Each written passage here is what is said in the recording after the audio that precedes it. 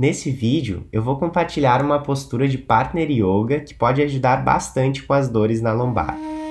Inspira fundo e vai com o cotovelo direito no chão e ao mesmo tempo vai soltando o corpo lá para trás. Procure se sentir relaxado, com o corpo solto, sem tensões. Pode permanecer de 5 a 10 respirações aqui, respirando profundamente. Para voltar, leve o braço esquerdo em direção ao braço direito e vai retornando ao centro bem devagar, já se preparando para começar o outro lado.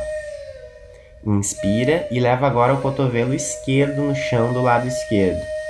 Solte o corpo mais uma vez e relaxe. Perceba se precisa fazer algum ajuste na postura e faça-o se necessário, lembrando que aqui a ideia é relaxar.